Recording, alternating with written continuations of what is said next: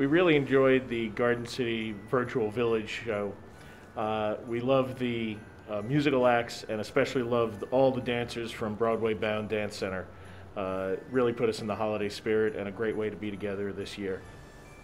Happy holidays and a happy new year.